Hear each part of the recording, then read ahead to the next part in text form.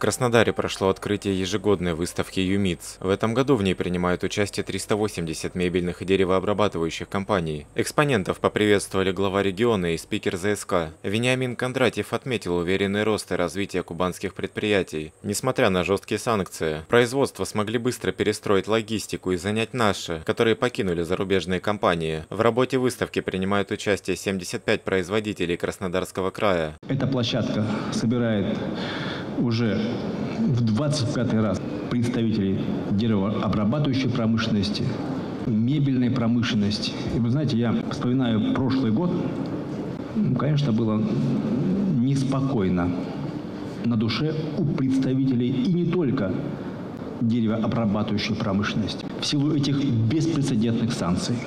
И мебельщики тоже переживали, где брать фурнитуру, где брать лаки. А сегодня посмотрите на результат. Сегодняшняя выставка увеличилась на треть. В мебельной отрасли края деревообрабатывающей работает более 6,5 тысяч человек. Наши предприятия заняли ниши и на рынке края, и занимают на рынке страны, которые оставили иностранные компании. Очень много на Кубани делается для поддержки промышленности.